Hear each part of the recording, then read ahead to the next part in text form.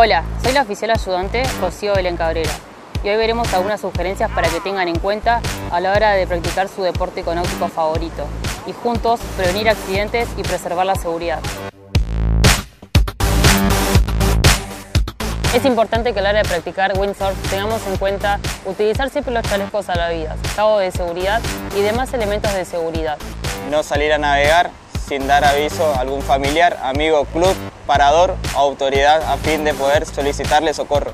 No navegar durante la noche. De utilizar siempre neopren o chalecos salvavidas de colores llamativos a fin de facilitar la búsqueda o rescate en caso de ser necesario.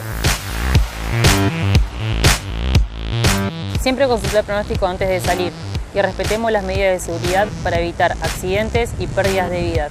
Seamos responsables para que una navegación sea un disfrute y no se convierta en una tragedia.